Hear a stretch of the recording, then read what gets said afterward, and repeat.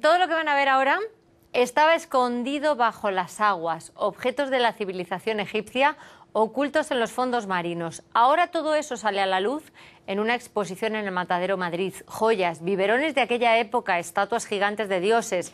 Se inaugura el miércoles y nosotros nos adelantamos. Un día alguien se sumergió en el mar Mediterráneo y encontró tesoros, faraones que dormían, reinas que nos esperaban y misteriosas piedras con secretos grabados. Años después, 500 de esas piezas de Egipto nos esperan para ser admiradas, para entender una cultura llena de contrastes. Se puede leer el texto de la creación del mundo y grabado sobre todo las caras el calendario egipcio de las décadas, pero también con textos astrológicos que hace de este monumento el primer calendario astrológico del mundo. Y cuando se lee lo que es escrito aquí, hace mucho miedo, porque son maldiciones sobre todos los eh, enemigos de Egipto.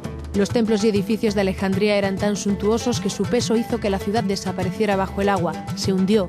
Fue la primera víctima de su propia grandeza, una soberbia apuntalada por lo cotidiano. Hay objetos humildes de la vida cotidiana, un biberón eh, para los bebés y también hay uh, reposa cabeza, muy confortable. Es el rastro de su niño, Cesarion, hijo de Cleopatra y de Julio César. Clases muy marcadas y piezas que nos enseñan las diferencias. Frente a la cerámica, el granito, símbolo del poder económico. Es la primera vez que se ve el encuentro del arte griego con el arte egipcio. ¿Y cómo lo podemos ver aquí, el encuentro entre el arte griego y el egipcio? ¿Qué, qué, qué datos nos da esto? ¿Ves? Tiene la postura de la reina de Egipto, con eh, la pierna así, eh, izquierda adelante y los brazos así, pero tiene el vestido griego. Llegan desde lo más profundo del mar de Alejandría, han estado cubiertos por sedimentos del Nilo, ciudades enteras sumergidas con la grandeza y lo cotidiano, pero siempre dignas de su pasado. Alejandro Magno, Cleopatra o esta estatua de 8 toneladas, la primera a un dios egipcio. Y es el dios que trae fertilidad a Egipto y en todos los lugares de donde está. ¿Y cómo sabemos que esta escultura es el dios de la fertilidad? ¿Qué, qué simboliza que nos dé esa clave? Eh, eh, su, uh, su tipología es muy conocida. Eh, tiene la corona hecha de papyrus porque es el Nilo.